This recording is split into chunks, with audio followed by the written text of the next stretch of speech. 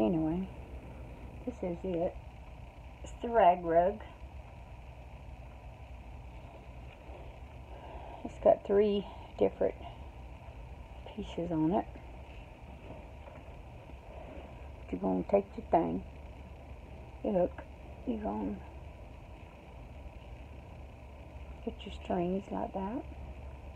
You're going to push it through, hook it, pull it, pull it through two. Snug it a little bit.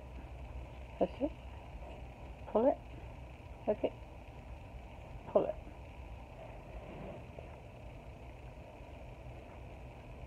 Put it in, hook it, pull it, pull it, and see how it makes a little loop. And you snug it back up a little bit.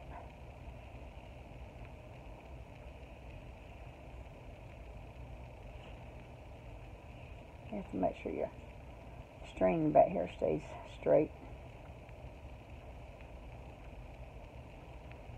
But it's um, crochet in a rag rug.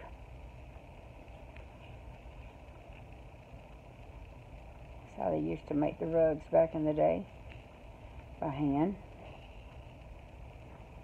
I guess before they come out with them, with machines. Anyway, that's how you hook it and sew it. And that there, there is my ball of yarn. And I'll show you what it looks like. That's the rug so far. I'll show you the rest of it when I finish.